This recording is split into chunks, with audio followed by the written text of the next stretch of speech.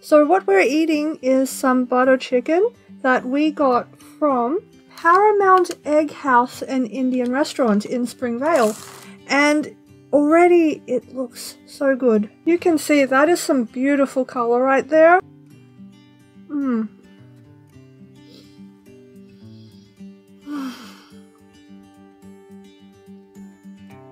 so good.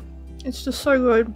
Oh, she, she is enjoying the sauce, and I agree. It's not like a sauce you would buy from a jar in a supermarket. This gives you the real authentic sensation. Ah, the, the bread's not too crunchy, and the sauce is just so sweet and creamy and, and spicy. Mm. Oh, it's so tender! Paramount, if you're watching this video, thank you so much for making this amazing curry. It's, ah, it's so good!